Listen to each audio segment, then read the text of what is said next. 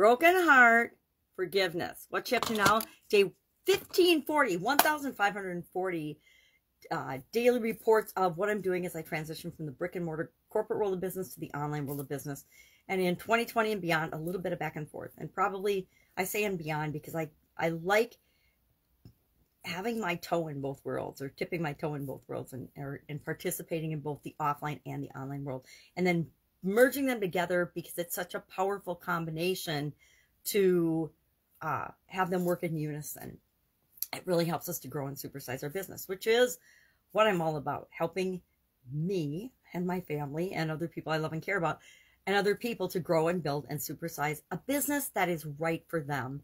Uh, I've grown businesses and supersized them that were not right for me and that actually led to a broken heart, literally broken heart. Our idiom for supersize your business today was broken heart. And broken heart dates back to 1015 BC. It's a very, very old expression. And it was, uh, it's a biblical reference to the pain of a broken heart, the pain of disappointment, overwhelm, a grief, sadness, things like that. Uh, but there's also, and I didn't know until I probably vaguely heard about it in the news, but never really paid attention until 2010 when I personally had a broken heart. It's called broken heart syndrome. I had a sudden cardiac arrest, and um, they can. It, it's generally brought on by extreme stress, and it can literally break your heart. Stress can literally break your heart, and I didn't really know that until then, but I know that now. Um, one of the fortunate few that survived that event. Don't talk about it too often. And I was talking about it today, and and blah, blah, blah, blah, blah, blah, jumble jumble because it's one of those things that's hard to talk about, and other people don't get it or understand. And I, I don't even claim to have 100% understood it myself. And I've actually experienced it. But uh, so I was talking about broken heart, broken heart syndrome, stress can kill you. Pay attention to all the areas and aspects of your life, not just singular focus. Now, we, we talk a lot about it, especially in business and online business, the importance of focus. But there's a difference between having a focus for our business and paying attention to the other areas and aspects of our life. They aren't mutually exclusive. We need to do both in order to have the energy, have the health, have the mental well-being, have the emotional well-being, have the spiritual well-being in order to grow and supersize our business. So in order to create and be the person we want to be in our life, we need to be a whole person, not a, a singular entity, uh, you know, singularly focused in one area or aspect of our life. It's like people that only focus on their relationship or only focus on their mental well-being or only focus on their physical well-being. We need to be not balanced. I, I don't believe in balance, but we need to have, we need to pay attention to all the different areas and aspects of our life. It's why I'm doing the annual challenge and using the life framework with nine different areas of our life. And we're spending a month on each one. And then the first nine months of this year, and then the last couple months, three months of the year, we'll do other things to improve us a little bit every day. But today, our topic for the annual challenge, day 108 already, was forgiveness. We talked about why forgiveness is important, what's in it for you to forgive, why it's critical that we forgive ourselves, and then different steps to forgiveness. And we need to each identify our own process. How do we go about forgiving?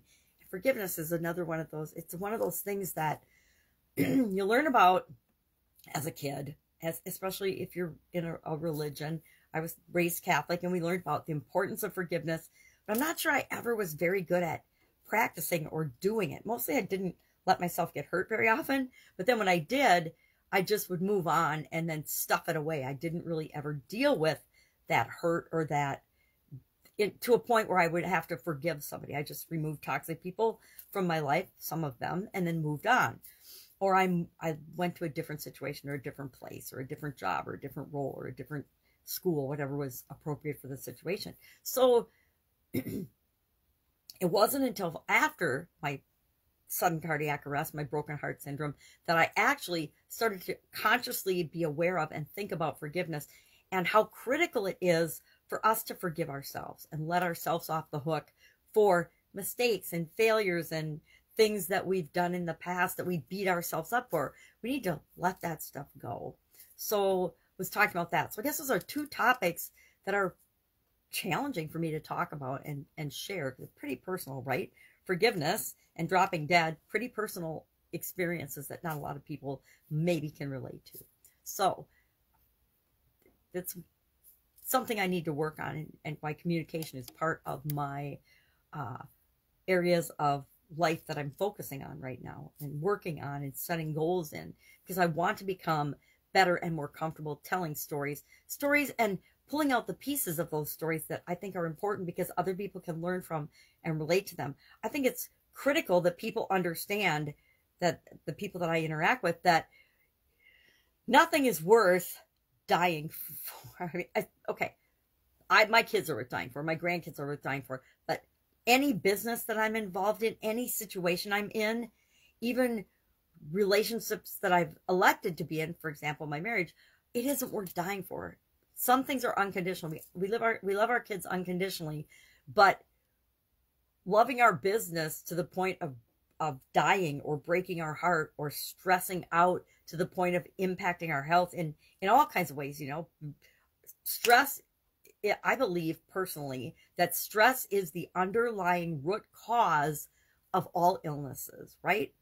All illnesses, cancers, heart disease, mental illness, right? I think it's the cause, the root cause of everything. So if we can learn to deal with and handle stress in our life in positive ways and take that energy of stress and instead of making it de-stress, make it use stress, meaning stress that drives us to create the things that we want in our life, I think stress can be a benefit there. But for the most part, the negative way that we're all handling stress in the in the universe right now, drugs, alcohol, overeating, uh, things like that, um, you know, uh, avoidance activities, procrastination, not making choices and decisions because we're stressed, um, letting other people control us. All of those things are the result of too much stress. Stress is a neg to me a negative emotion. It, it comes from doubt, worry, fear, anxiety, depression. All of those to me are stress. And if we're putting stresses on our life, it's negatively impacting us. All right, I'm di I'm diverging. So have an awesome day. If I can help you anyway, ask. It does not stress me out. Uh, you can box for me at Pajama Grandma, or you can find me, Sharon Horne-Ellstrom, all over the internet, you know, Facebook, all the main social media platforms, and just message me, direct message me, say, hey, I got a question, or hey, I need five minutes. Say, I need five minutes. That's the perfect way to approach me in terms of just getting a quick blip of help. All right. Have an awesome day. It's an it's an awesome Monday. It's actually snowing where I am. Can't believe it's still snowing. It's what April 18th and it's still snowing today. Woke up to to not not flurries like big fast falling flurries, which means it's probably warm enough that it's on that border of, of snow and rain. But boy, when you wake up and see those white snowflakes still, you're like, really? Come on, it's time for spring, especially after Easter. All right, have an awesome day, and I'll, of course, be with you tomorrow.